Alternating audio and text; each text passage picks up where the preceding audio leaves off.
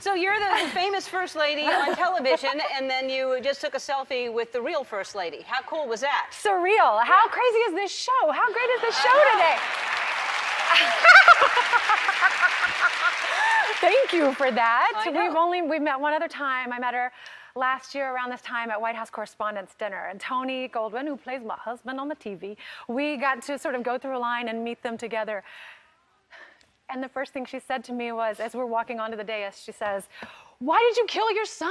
And I was like, and I got really nervous, and then I was like. "Ah, ah, ah, ah," And I couldn't really get any words out, so I was glad I got to speak today. Yeah. And our sweet president said to Tony, "Mr. President, Mr. President."